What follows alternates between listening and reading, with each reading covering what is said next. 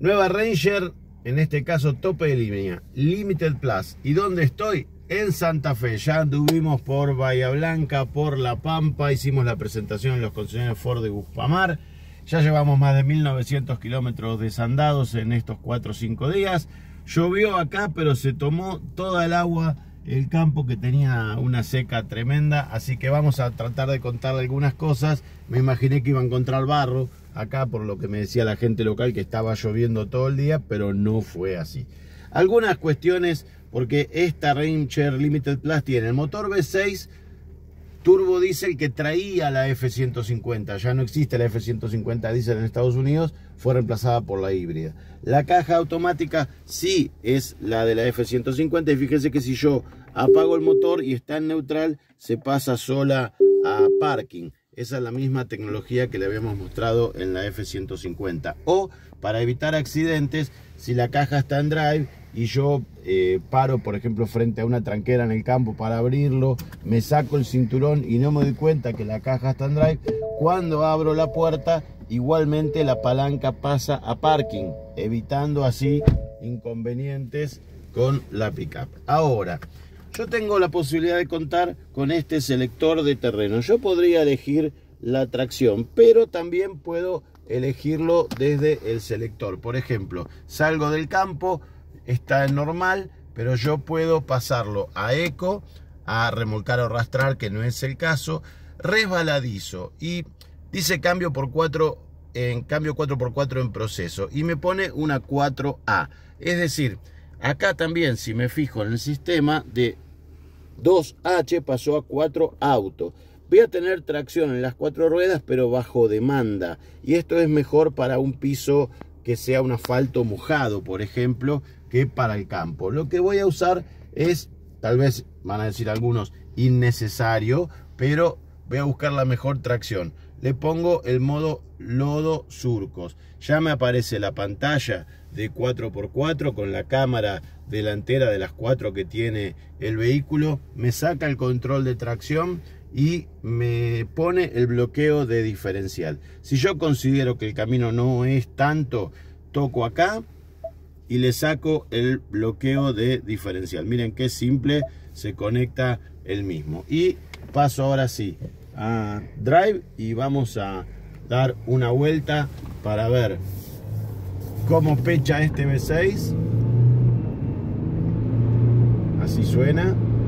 Y atención que no voy a tener levas. Entonces si yo llego a una curva de 90 grados, voy a tener que trabajar con el freno como para, si no conozco cómo está el camino, tomar todos los recaudos y a la hora de acelerar, ahí estoy saliendo a fondo, el vehículo va a traccionar ya con las cuatro ruedas. Por eso es mejor el 4x4 alta que el auto para este camino. Acá por ejemplo puedo pisar esta mancha y ahí se fue de trompa y si la piso traccionan las cuatro.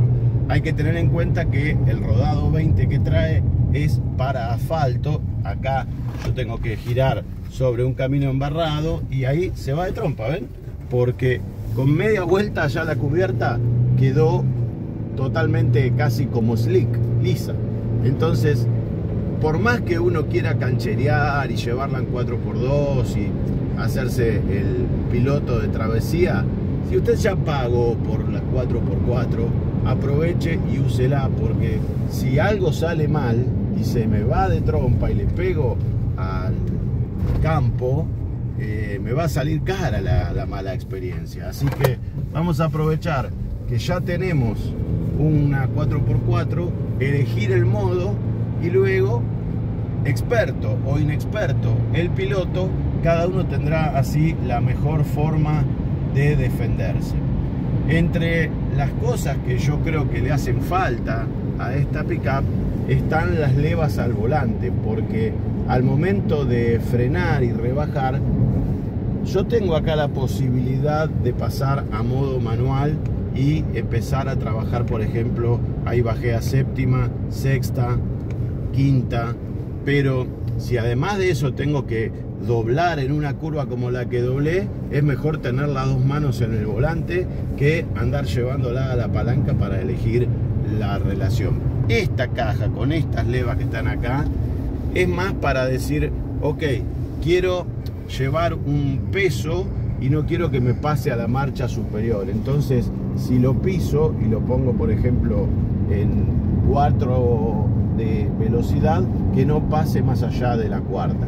Lo mismo para andar en la arena, que hicimos muy poca experiencia con la arena con esta pickup en Mendoza, pero yo podría elegir subir un médano en una tercera de alta y que no me tire la cuarta para poder pechar y subir. Para eso es más que nada este sistema.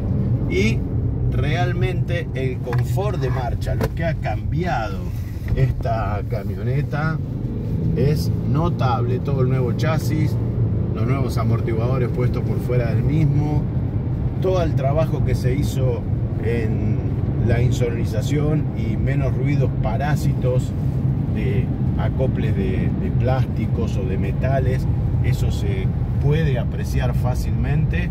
Así que hay mucho para trabajar. Acá tenemos un pequeño saltito y copia realmente bien. Hay mucho para trabajar y darles a conocer las características de esta nueva Ford Ranger. Empezamos por la tope de línea porque es lo que Ford está prestando. Son tres los medios que eligió la empresa para el primer préstamo, uno de ellos nosotros. Así que ya le estamos haciendo casi 2.000 kilómetros en unos pocos días. Pero después nos va a encantar probar distintas versiones, porque una XLS V6 de trabajo con un rodado más acorde, con menos tecnología, sería muy interesante.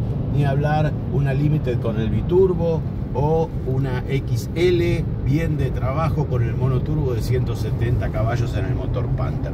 Así que si ellos tienen disponibilidad de producto más adelante, vamos a tratar de probar todas las nuevas Ford Ranger que podamos.